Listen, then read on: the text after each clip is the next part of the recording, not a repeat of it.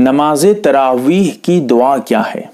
यानी तरावीह की नमाज़ में चार रकात के बाद जो कुछ देर के लिए बैठते हैं, इस्तराहत करते हैं, कुछ देर आराम करते हैं चार रकात के बाद, उस वक्त जो दुआ पढ़ते हैं, वो दुआ क्या है?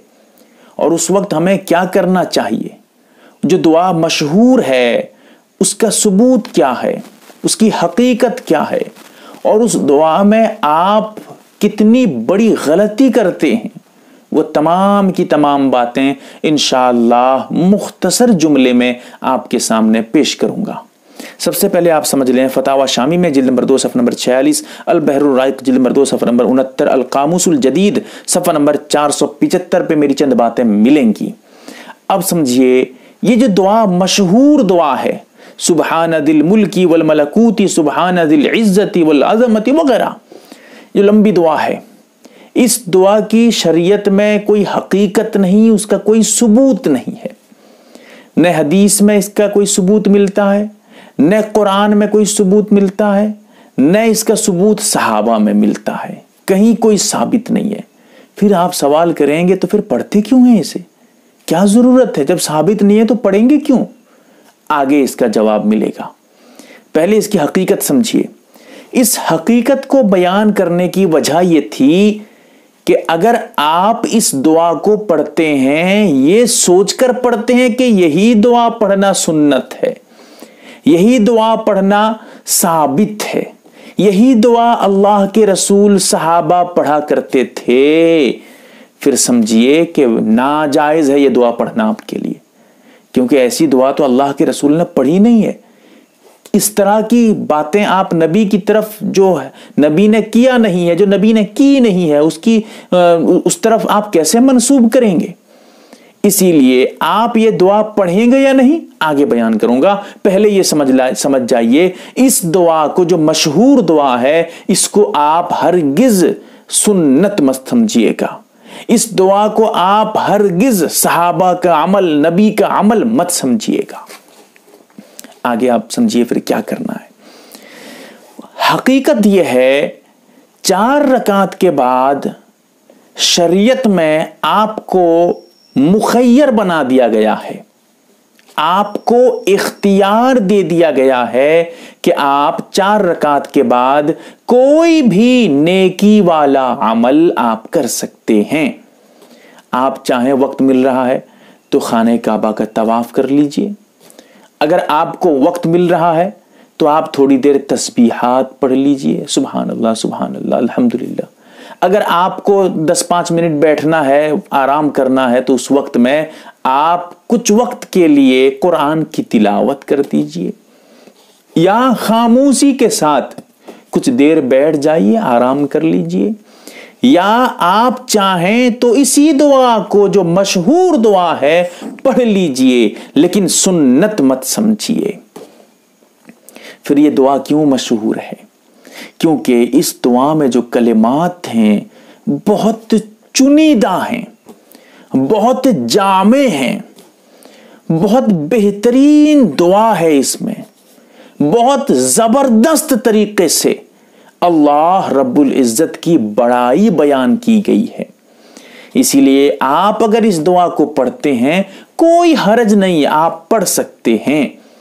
अगर आपको यह दुआ याद नहीं है, इस दुआ की जगह कोई और दुआ जो आप इससे और जामे समझते हैं? कुछ कुरानी दुआएँ हैं, उनको पढ़ लीजिए, याद है तो। रब्बना आतिना फिर दुनिया हसना वफिल आखिरत हसना वकीना आदाबन्नार पढ़ लीजिए। कोई और दुआ आपको याद है तो आप पढ़ लीजिए। या आप उस वक्त कुछ दुआ बगैर हाथ उठाए, नमाज़ के बाद जो हाथ हाथ उठा के दुआ करते हैं, बगैर हाथ उठाए, दिल ही दिल में कुछ दुआ मांग लीजिए अल्लाह से।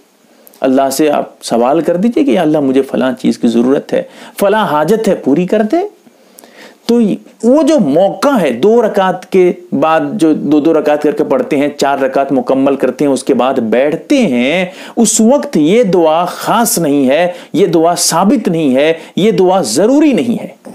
इस दुआ को आप चाहें तो पढ़ सकते हैं, लेकिन शर्त वही है, मैंने जो अभी आपके सामने ज़िक्र किया है। या इस दुआ के अलावा कोई और काम भी आप कर सकते हैं। अब समझिए, इस दुआ में आप कितनी बड़ी गलती करते हैं। दुआ पढ़िए, ये दुआ पढ़िए, लेकिन हाँ सही पढ़ करके पढ़िए। बहुत बड़ी गलती है। देखिए क्या है। सुबहाना, पहले आपको दुआ पढ़ के सुना देता हूँ।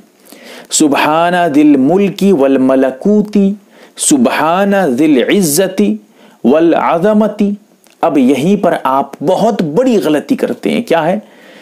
दिल इज्जती वल आजमती आप क्या पढ़ते हैं? वल अजमती, अजमत नहीं।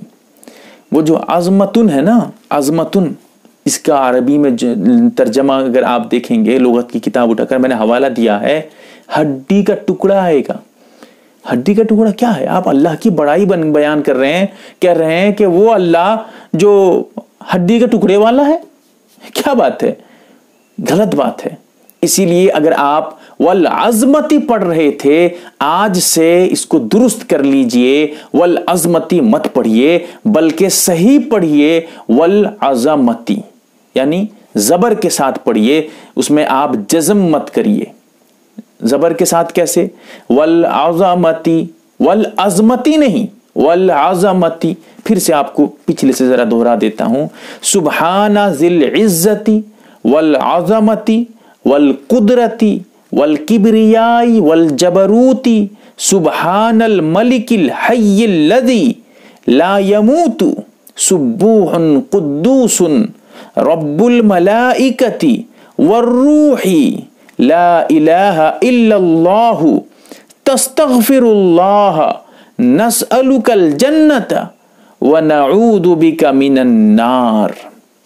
ये मुकम्मल दुआ है। इसको आप दुरुस्त कर लीजिए। मेरी दुआ जो मैंने अभी पढ़ी है, पढ़ के आपको ये दुआ आपके सामने सुनाने की कोशिश की है। आप अपनी दुआ को इसके साथ मिला लीजिए कि आप क्या यही पढ़ते हैं या कुछ और गलती करते हैं इसमें।